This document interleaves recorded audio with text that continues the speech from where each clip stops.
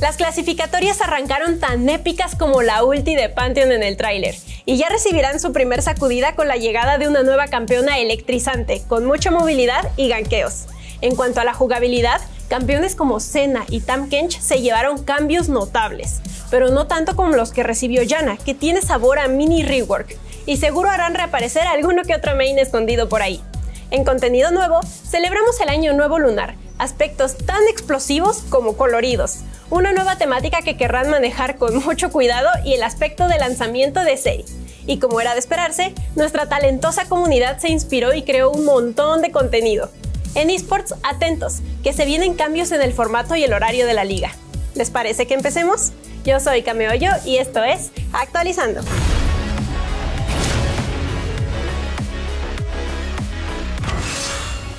No importa cómo lo armes, en estos momentos es literalmente una pesadilla jugar con Nocturne en la jungla. En especial cuando llega el juego tardío. Pero que no panda el cúnico, porque ahora se mejoró la vida que gana al subir de nivel y se aumentó la tasa de escalado de la Q con daño de ataque. Los jugadores de Rengar sufrieron con la llegada de la dragona Kimtek. A Rengar se le ponían los pelos de punta cada vez que la grieta adoptaba los colores de Sound, y a este gatito se le reducía su arena de juego porque varios arbustos desaparecían. ¿Y qué chiste tiene jugar Rengar si no puedes ir dando saltitos y asustando a todos? Por eso, su definitiva ahora tiene una nueva pasiva que le permite saltar a rivales cuando está camuflado. La misión de Samira es aguantar sin morir durante el juego medio y en late destrozar gente con su definitiva. Suena fácil, pero el problema es que con el nerfeo arco escudo inmortal se le dificulta llegar a ese punto. Con el aumento al daño de su definitiva, seguro podrá hacerle una demostración del poderío noxiano a sus rivales mucho más rápido. La elección de la runa era un asunto de vida o muerte para Senna. Antes del cambio, aumento glacial era vital para que Senna pudiera ralentizar a sus rivales y así poder pegar el resto de su combo. Pero desde el cambio ya no le sirve nadita. Por eso, ahora su Q le entrega de manera pasiva una ralentización a sus ataques básicos. Veigar estaba acurrucado en el más profundo rincón del abismo. Es cierto que este gran pequeñín puede desaparecer a cualquiera en un abrir y cerrar de ojos, pero para llegar a ese punto casi que necesitaba de dos partidas seguidas para poder cargar su Q. Para ayudarlo a crecer, ahora al matar monstruos y súbditos grandes con su Q, se obtiene una carga más de poder de habilidad. Además, se reduce su enfriamiento. Mi viejo Boli ya no es lo que era. Después de tener sus épocas de gloria en la jungla, lo vimos brillar en top. Y luego, bueno, luego ya no lo vimos más. Para darle ese empujoncito en poder, se le aumenta el crecimiento de daño de ataque y se reduce el enfriamiento de su E para que pueda tener mejores intercambios. ¡Dale, Boli, dale! Con los cambios a la teleportación, Shen despertó de su largo sueño para volverse el rey del top.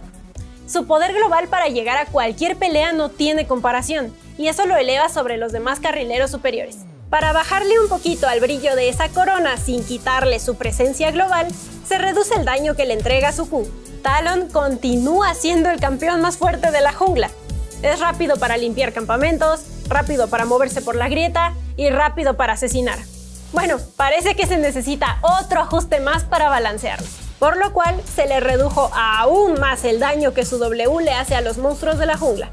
Seth tiene a su disposición todo lo que se puede desear de un asesino. Movilidad, bajos enfriamientos en las habilidades y daño. Mucho daño. Al hacer el jutsu de la definitiva y combinar sus otras técnicas secretas, este ninja asesina a cualquiera en un segundo. Para que dependa más del resto de las habilidades, se reduce considerablemente el escalado con daño de ataque de la habilidad.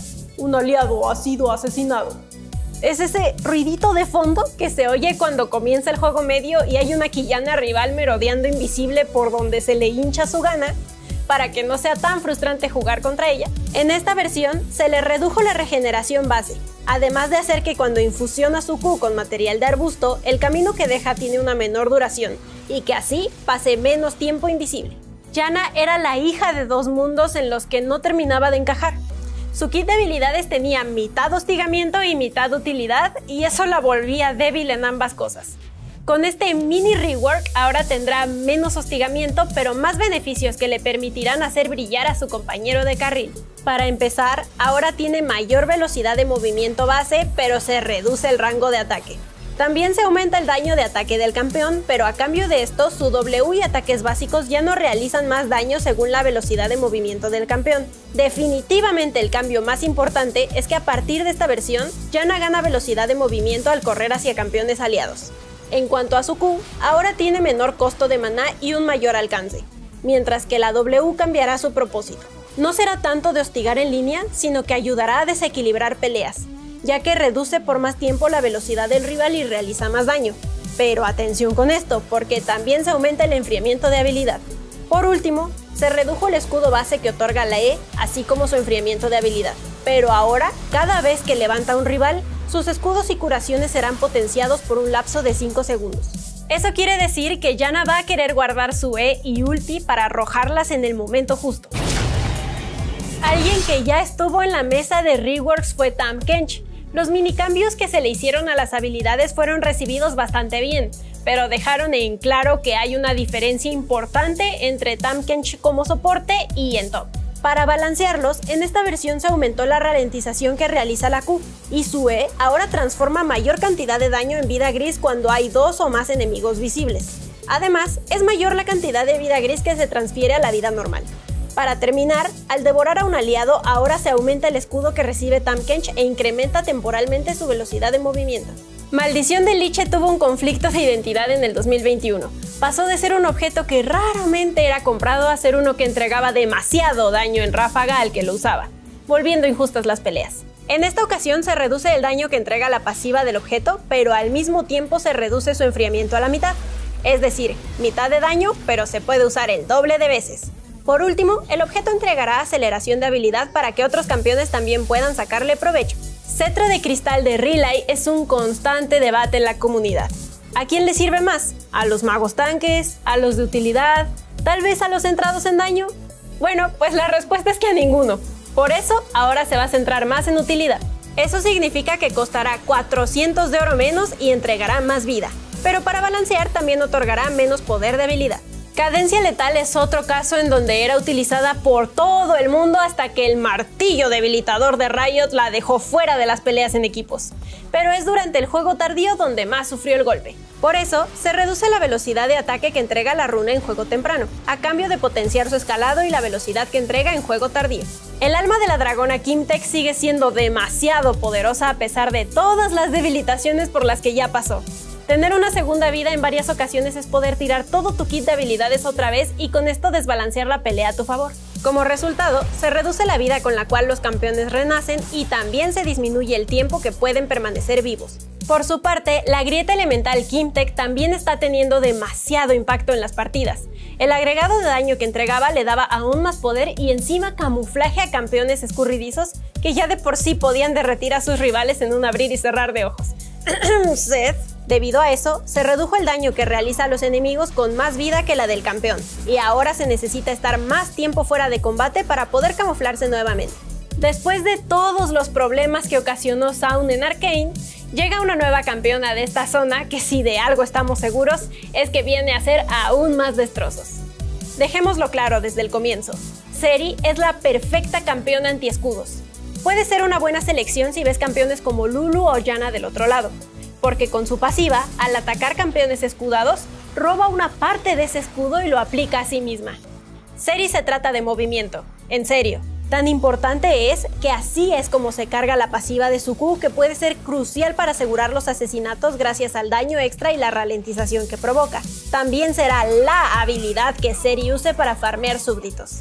Seri siempre intentará conectar su W con campeones a través de muros, porque cuando los atraviesa, un simple proyectil se transforma en un láser enorme que puede ralentizar a varios rivales. Si bien el posicionamiento es importante para todo tirador, para Seri lo es aún más. Y aquí es donde entra su E, que no solo le permitirá atravesar grandes distancias de terreno, sino que también hará que sus próximas Q atraviesen rivales. En otras palabras, una buena posición podría significar mayor daño al equipo rival, su definitiva se asemeja a la pasiva de Jinx, pero con activación a gusto. Cuando decimos que Seri se trata de movimiento no es broma. Siempre y cuando Seri ataque y se mueva, la definitiva continuará activa, pudiendo mantenerla así por todo lo que dure una pelea. Objetos como Mata Krakens y Saqueador de Esencias son clave para maximizar el daño. El secreto es intercalar ataques básicos con habilidades, moverse y atacar, moverse y atacar, moverse y atacar.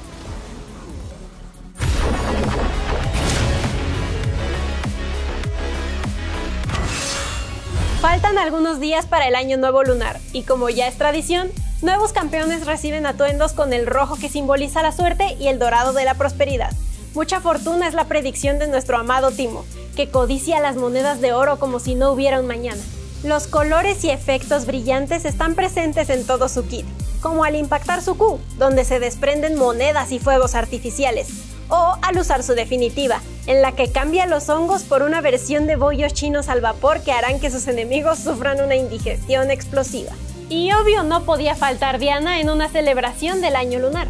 Ella también se viste de rojo para la ocasión y utiliza formas y patrones chinos como el que se ve en su definitiva, en la que aparece un nudo chino a modo de indicador. En su vuelta base, Diana hace un despliegue de ilusionismo al convertir una parte de su hoja creciente hecha de jade en un farol y la otra en una linterna con forma de un simpático tigrecito. Cuando Seth llega al desfile, todos saben que verán un gran espectáculo.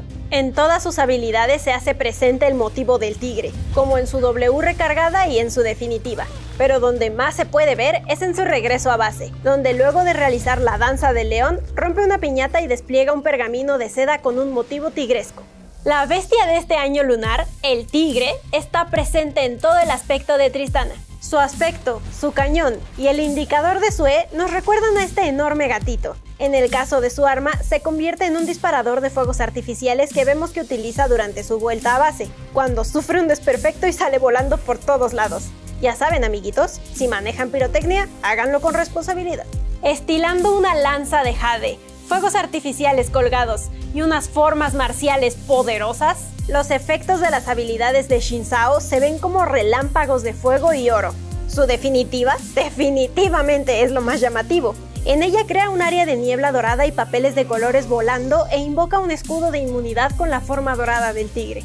Saya Fénix Valiente recibe una edición prestigiosa sorpresiva, en ella cambia su vestido con tonos rojos y verdes por uno blanco, rojo y detalles en oro que resalta la magnificencia del Fénix. Los efectos de sus habilidades irradian brillos dorados y se pueden apreciar al usar su definitiva, donde, al saltar, se envuelve en un remolino de aves míticas y resplandor amarillo. En un mundo colmado de espíritus antiguos, existen unos artefactos de porcelana llamados reliquias zodiacales, los cuales tienen un potencial infinito, para que no caigan en las manos incorrectas, los protegen unos guardianes inmortales llamados protectores. Se los presento. Ezreal liberó a una antigua bruja y ahora debe ayudar a los protectores velando por la seguridad de la reliquia del tigre.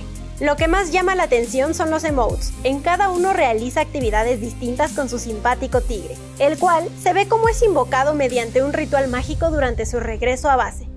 Agradecida con Ezreal por haberla liberado de su prisión de cientos de años, Lisandra ahora planea hacerse con las 12 reliquias zodiacales. Su regreso a base nos muestra cuál es la reliquia que protege, momento en el que invoca una vasija de porcelana de la que sale una serpiente. Una versión gigante de esa vasija es en la que se transforma Lisandra al usar su definitiva. ¿Ya notaron que Amumu está bien feliz? La razón es que fue elegido como protector de la reliquia de la rata, lo cual le viene perfecto, porque al utilizar su Q amarra enemigos y se acerca a ellos utilizando su colita de soga. En su definitiva, Amumu estalla en un círculo de energía azulácea en el que se puede ver a contrarrelieve y brevemente un delicado y antiguo paisaje recordándole eternamente aquel lugar donde nació. Protectora de la reliquia del perro y mentora de otros protectores, este aspecto de Kindred es el primero que nos muestra un poquito de lo que hay debajo de la máscara de oveja. Similar a Amumu, cuando Kindred despliega su definitiva se puede ver dos peces koi formando el yin y el yang, mientras que en su regreso a base se ve a los Kindred en plena acción luchando contra las serpientes de Lisandra.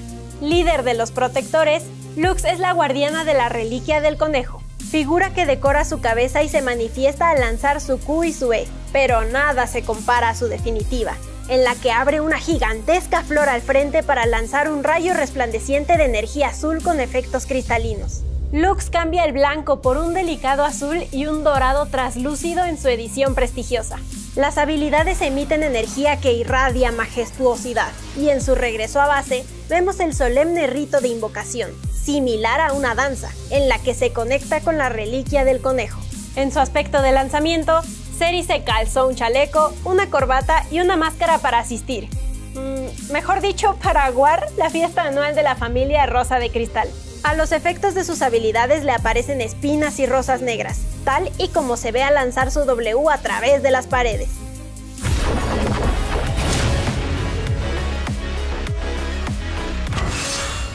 Mientras la porcelana y los atuendos festivos hacen furor en la grieta, fuera de ella, la comunidad se mantuvo muy ocupada creando hermoso arte de los aspectos. Y claro, de nuestra querida serie. Que comience la galería. Sly le hace realidad sus sueños a Ezreal en el universo de porcelana y lo retrató con su crush. Los colores, los gestos de los personajes y una linda atmósfera le dan la expresividad perfecta a este trabajo. Colores llamativos, texturas florales y una composición aprovechando las formas del lobo hacen que la obra de Miku pareciera sacada de un pergamino antiguo. Roderick vio un barco a punto de zarpar y abordó inmediatamente. Apenas vamos empezando y ya nos trae el shipeo del año hermosamente ilustrado. Los libros de historia dirán que eran buenos amigos. Si Roderick es tripulante, Gato Pescado 3 es el capitán del barco. Nada que despierte tanta ternura como ver a Felios y a Seth disfrutar de una hermosa noche de fuegos artificiales, rica comida y del otro. Ripet Colors tomó la actitud cómplice de Seri y la realzó con los ojos expresivos que suele darle a sus trabajos. Por cierto, si buscan fanarts de Soraka, Ripet Colors los puede ayudar. Crayolita eligió traernos una serie en plena acción, movimiento, escorzo, sombreado, líneas dinámicas. Definitivamente hay muchas horas de dibujo en esas manos. Cuando suban sus creaciones, no olviden poner el hashtag creadores de LOLATAM para que podamos encontrarlos y ponerlos en la sección. Ilustraciones, fotos de sus cosplays, videos, memes, lo que se les ocurra. Acá recibimos de todo.